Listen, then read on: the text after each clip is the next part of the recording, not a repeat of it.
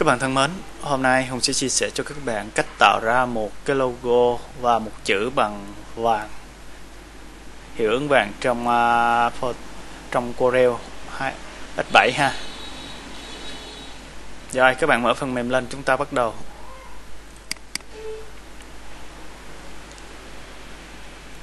Thì uh, chúng ta nêu một trang mới bình thường như mọi bài tập thôi. Này, rồi, chúng ta sẽ đánh ra một cái dòng chữ. Đó là I love nha tôi yêu. Đó, tôi yêu.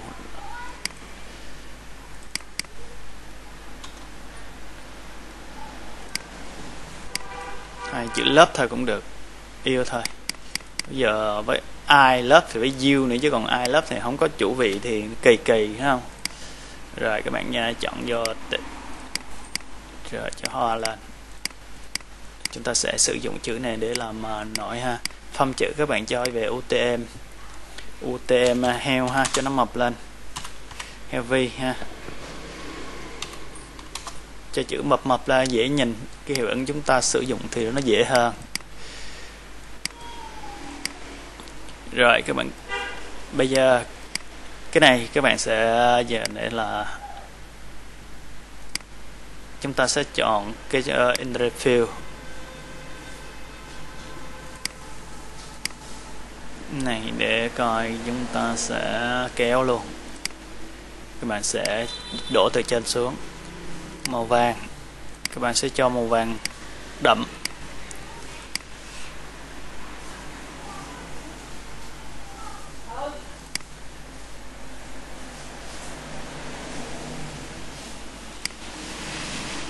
Rồi, dưới này cũng vậy.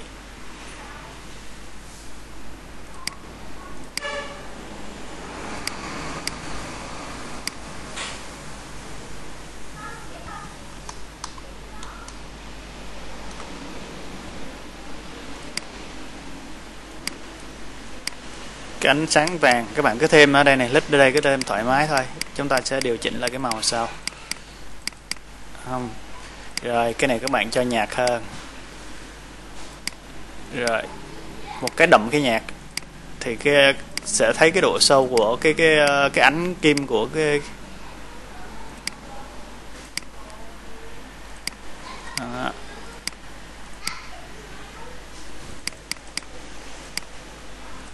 thấy cái ánh kim không? Ánh kim cái này là hơi hơi vàng quá sẽ tạo, tạo thấy đây nó không được đẹp. Đây. Chỉnh lại chút xíu ha. Chứ mấy cái này cũng đơn giản thôi. Các bạn uh, luyện tay quen là mình làm thì nó nó nó nhanh thôi. Cái này cho đậm chút xíu. Cái này này đậm và cái này nhạt nữa nữa nó kỳ kỳ. Rồi. Kéo lên. Chờ. Đây là cái chữ vàng. Tại cái nền của chúng ta là nền trắng trong cái đối màu lập của màu á, thì cái màu nóng thì đứng với màu lạnh, màu sáng thì đứng với màu tối. Đó, có hai phương án nó đối lập vậy, nó mới làm tâm lên cái cái chữ được.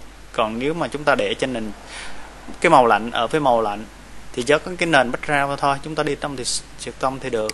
Nhưng phải có cái cái cái màu trung gian, cái màu lượng tính ở giữa để nó ngăn cản lại.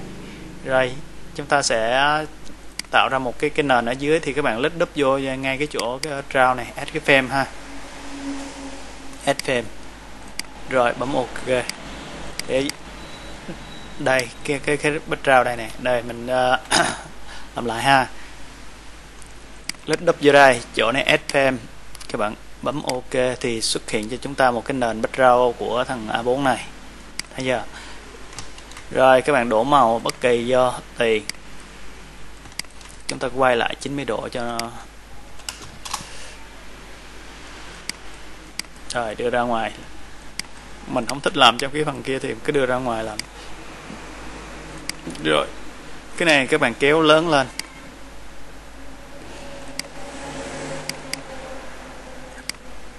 Rồi kéo lớn lên ha. Thì cái màu trong sẽ chuyển theo này. Rồi bây giờ chúng ta sẽ dùng cái công cụ ờ, uh, Adjust đây các bạn. Kéo.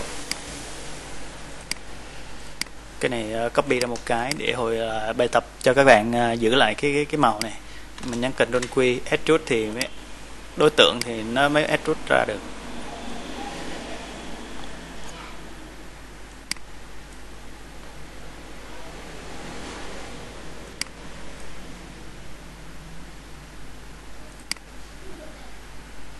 Này màu. Chúng ta sẽ đổ màu đổ xéo lại chút xíu. Kéo ở dưới à.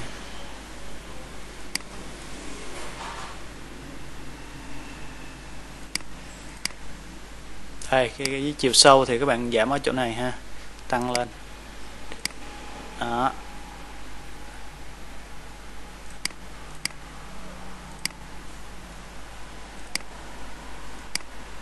Cho xuống dưới chút xíu. Để tạo cái độ sâu của cái chữ này. Đây là chữ 3D á, chúng ta đang làm chữ 3D rồi các bạn nhấn Ctrl K rã ra. Đây là cái phần chúng ta cái màu của chúng ta đây này. Ctrl K ra là chúng ta sẽ lấy được cái chân của cái đối tượng này. Các bạn rã ra anh rút rã ra.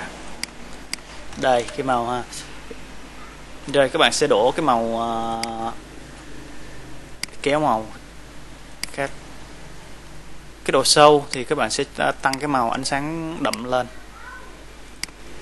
Cam.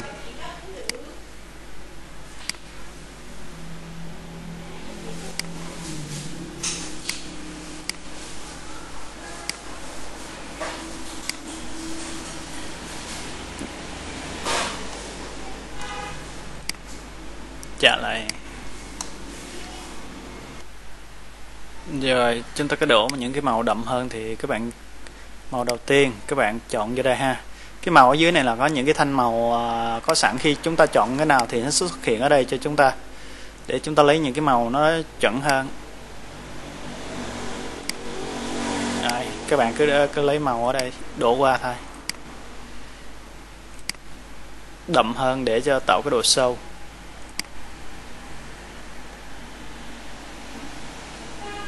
Thôi, bỏ bớt đi. Chúng ta đổ một cam luôn đi, chúng ta sẽ đổ một cam luôn.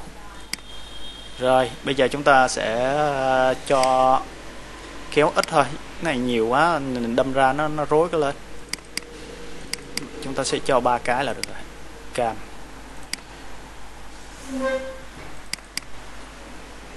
Rồi.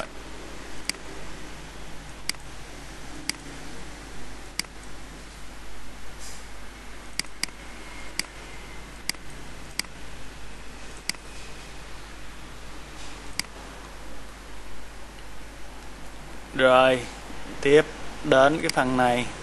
Các bạn sẽ, những cái phần bên đây nữa nè. Chúng ta cũng đổ, thì các bạn chọn ờ, đối tượng này ha. Chọn cái đối tượng cần đổ này bạn chọn edit, copy from ha. Chọn fill. Ok, rồi các bạn chỉ vô đây. Thì sẽ áp dụng từ hiệu ứng này qua hiệu ứng bên đây cho các bạn. Được chưa? Rồi, phần đây các bạn cũng phải đổ như vậy các bạn cũng chọn edit chọn uh, copy from. Chọn fill ok. Nó thấy không? Nó sẽ đổ dần qua đây. Phần này cũng vậy thôi.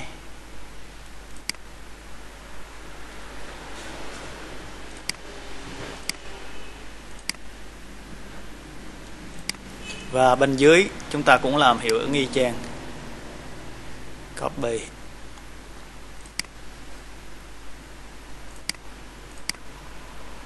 Nhưng cái này, phần này thì đổ phải xoay lại mới được, chứ còn này thì đâu có thấy cái ánh sáng đâu. Mà xoay lại bên đây, xoay này. Hay kéo thấp cái này lại để tạo cái độ bóng.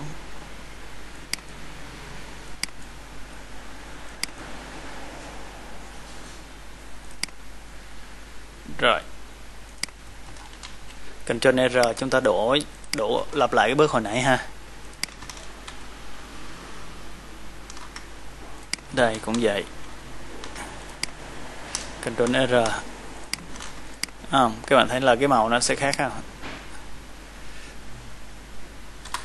Rồi rồi cái phần ở đây thì các bạn cho một cái stroke. Một stroke này.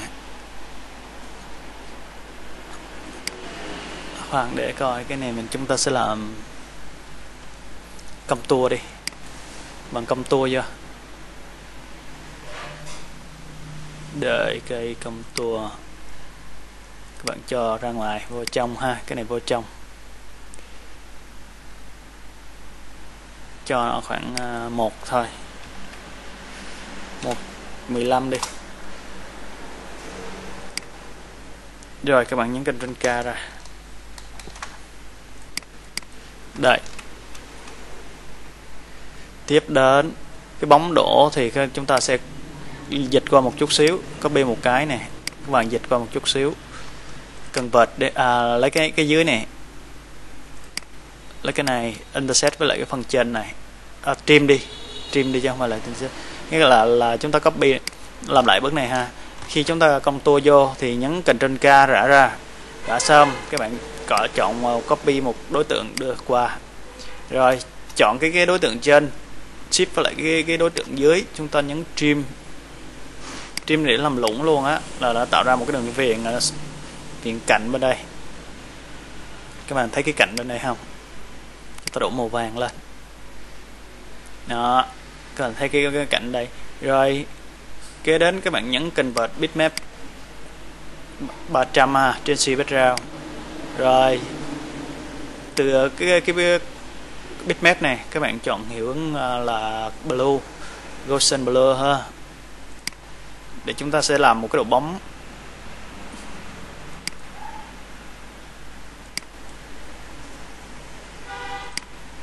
đây các bạn tăng lên thì cái độ bóng nó càng cao.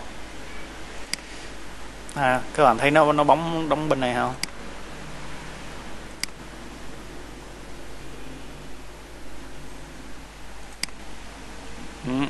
Cái ánh sáng thì bên này sẽ hắt mạnh hơn. Rồi, ok.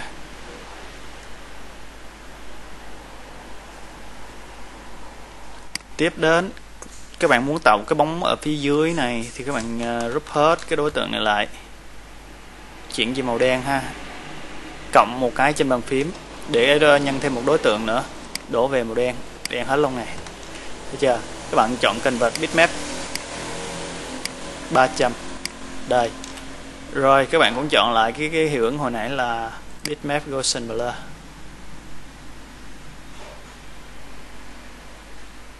đợi. Hay các bạn thấy cái bóng ở xung quanh không?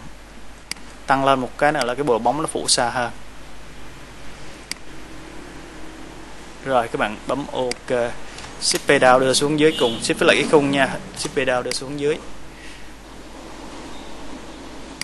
Đây là cái bóng của của chúng ta.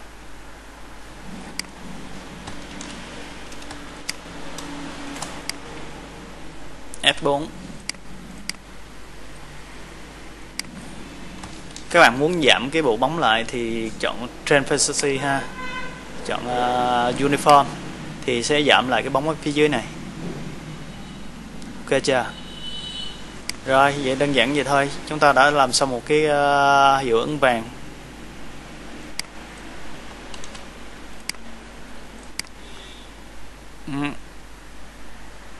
Còn xung quanh này các bạn cũng phải đổ một cái màu nền nữa. Chọn uh, kéo chọn ở giữa ha đỡ tâm ra. Ở giữa thì các bạn cho màu đỏ xung quanh các bạn cho màu đậm hơn. Đấy. ngoài này đậm luôn đậm đậm đen luôn thì sẽ nhìn được cái cái màu phía trong rất là đẹp.